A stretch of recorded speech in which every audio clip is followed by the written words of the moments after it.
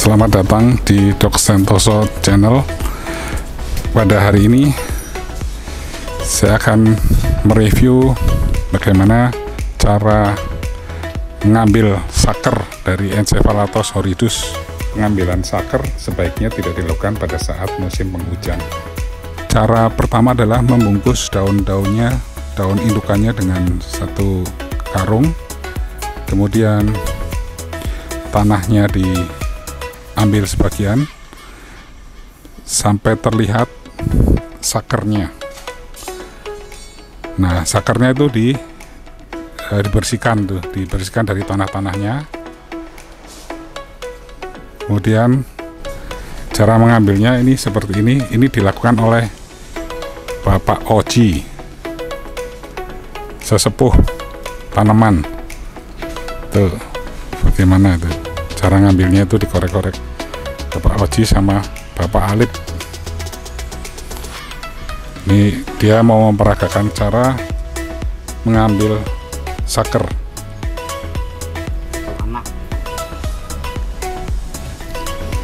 Ya. Nah itu.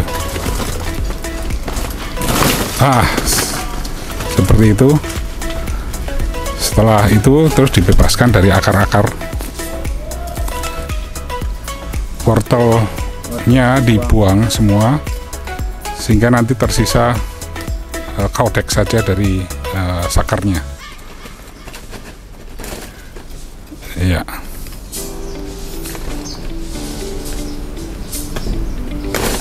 Nah, sehingga tersisa seperti ini. Nanti sakar yang telah terpotong, yang akarnya atau wortelnya putus, kita buang. Tapi yang wortelnya masih utuh, kita pertahankan untuk tidak dibuang. Ini beberapa sakar yang setelah, telah dipotong oleh Bapak Oji. Tuh, besar cukup besar-besar kali ini. Kita dapat berapa? Ci, semua pas. Dapat 7 sakar yang nanti akan ditanam.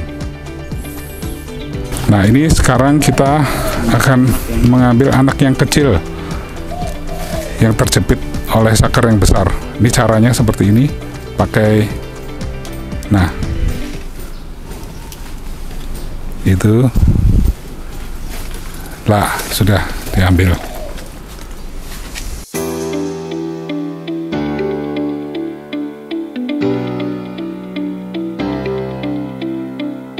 Setelah sakar diambil semua, ini eh, indukan akan dikembalikan kepada pot setelah diberi media, terus dikembalikan ke pot yang lama.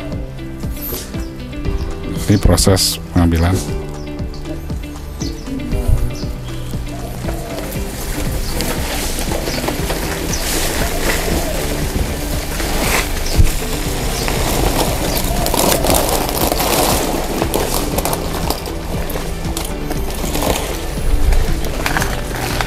Ya, sudah masuk kemari, sudah masuk ke dalam pot.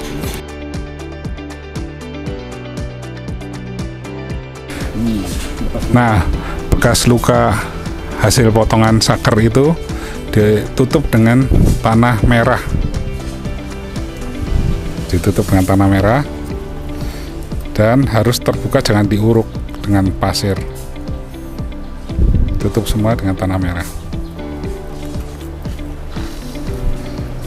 Ini sekarang lagi dalam proses menutup menutup luka bekas sakar ya tadi ya. Ya, Pak Oji ya. iya ya Ini salah satu cara panen Encephalatus horridus selain dari biji, yaitu dengan pengambilan saker.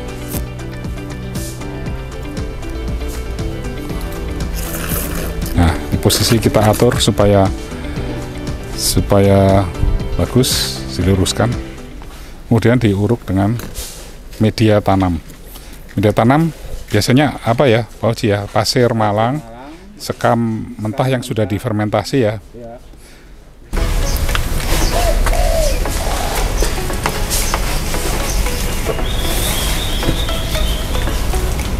Ini pasir malang yang sudah disiapkan untuk media tanam. Berikut sekam yang sudah difermentasi. Dicampur rata. Ya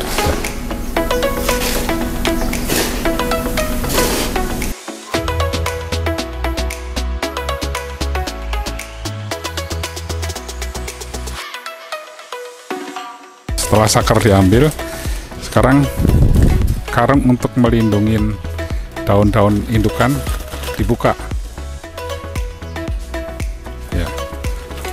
dibuka nah itu.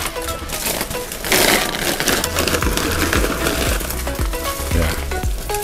Nah sudah terlihat indukannya. Setelah posisi pas bagus kita mulai uruk dengan pasir malang dan sekam yang tadi telah dipersiapkan. Nah, bekas bekas sakar yang telah ditutup tanah merah jangan tertimbun oleh pasir supaya nanti tidak terjadi busuk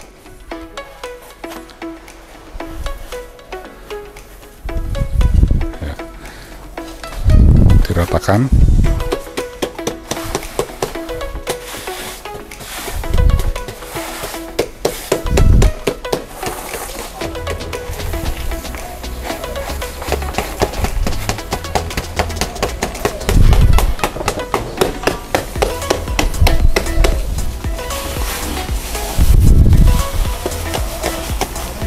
Nanti boleh disiram nggak, Pak Oji? Siram.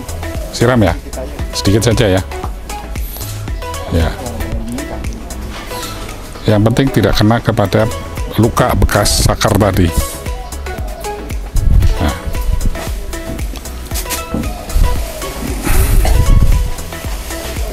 Kalau atasnya cukup tanah, eh, cukup pasir malang saja atau pasir malang saja ya atasnya ya?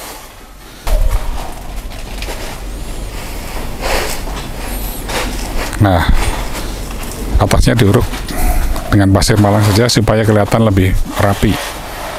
Karena kalau sekam itu gampang terbang kena angin.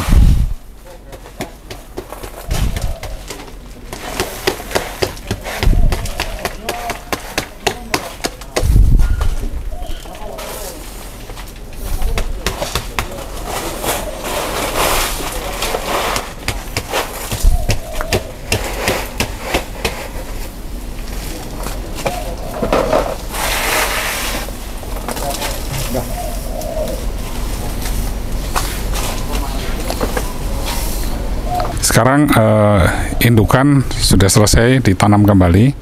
Sekarang kita tinggal bagaimana melihat cara menanam sakar yang telah dipotong tadi.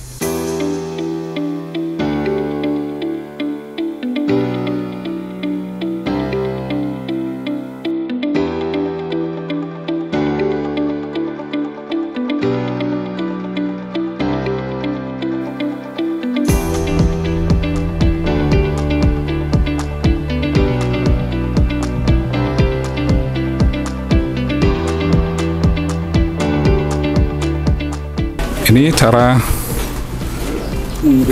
menanam sakar yang telah dipotong tadi. Semua ditutup dengan tanah merah yang tebal dan dipadatkan. Daun-daun sengaja tidak dipotong.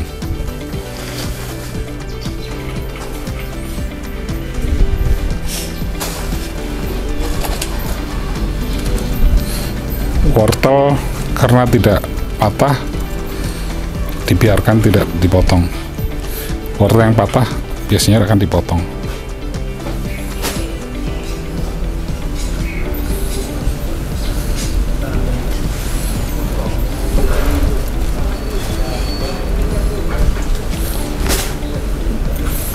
Ya. Ini yang tanpa wortel, tanpa wortel. Ya, wortelnya udah dipotong tadi. Kasih tanah merah sedikit-sedikit dulu jikali ya, supaya padat masuk.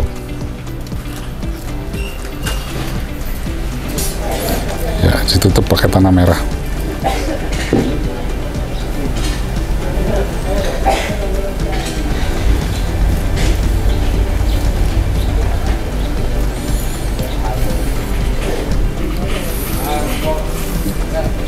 Biasa diolaskan sedikit dulu sedikit-sedikit kemudian baru dikasih tanah merah agak banyak. Sedikit-sedikit ditutup. Hmm.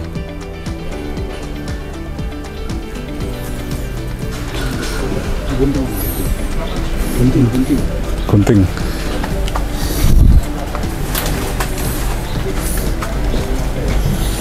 wortel yang patah. Yang luka ya dipotong sekalian dibuang lalu ditutup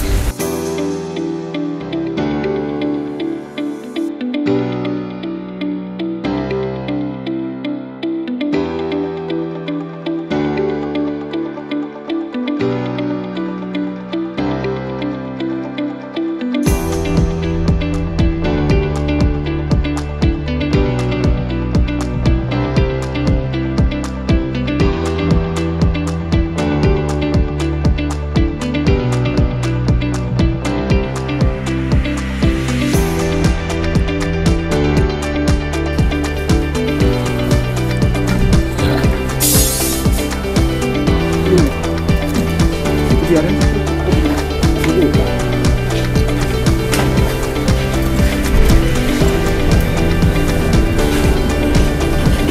Sedikit-sedikit diolesin tanah merah. Yang luka supaya tidak tidak getahnya kalau keluar gitu. biasanya kan getahnya keluar.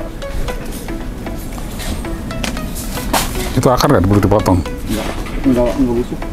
Enggak patah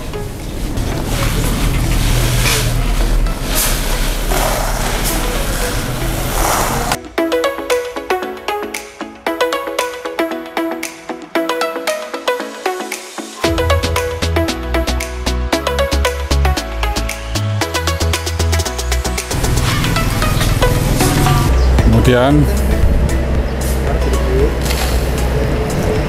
kita tanam di pasir malang saja murni tanpa campuran apa-apa. Diuruk sampai ter- tenggelam semua ya dia iya. Di atas daun tangkai daun. Sampai atas tangkai daun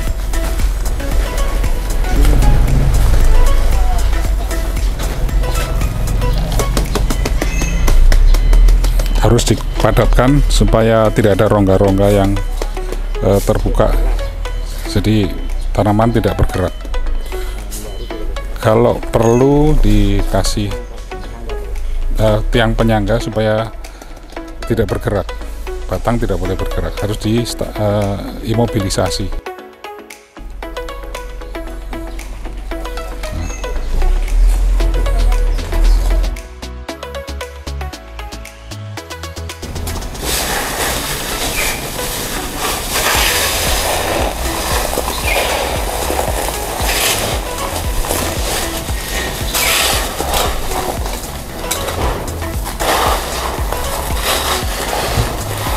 Меры не дают.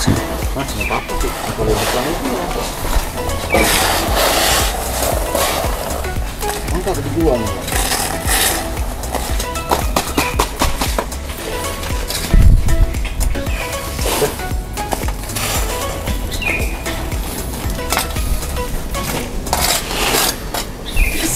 Gracias.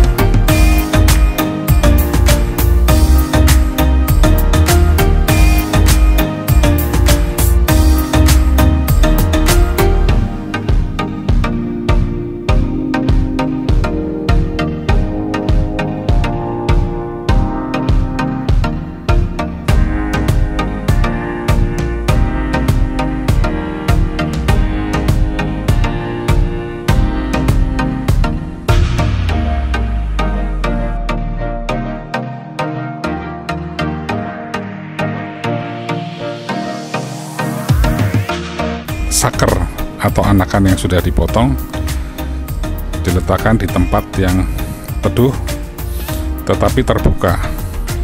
Di sini kalau hujan tetap kena hujan, panas tetap kena panas, cuman tidak terlalu uh, terik. Saya biarkan seperti ini. Bawahnya tanah, kemudian di atasnya pot-pot seperti itu. Jadi penyiraman dilakukan hanya kalau kering saja. Kalau kena hujan, tidak dilakukan penyiraman lagi.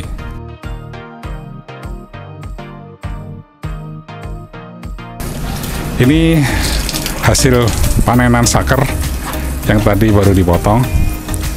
Bersama Bapak Oji ini lagi disiram asal asal aja.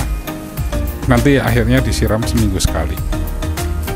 Nah ini sudah kita nggak akan siram-siram lagi selama satu minggu. Cukup sekian review mengenai cara mengambil saker dari indukan Encephalatos horridus tanaman purba dari Afrika Sekian dan terima kasih.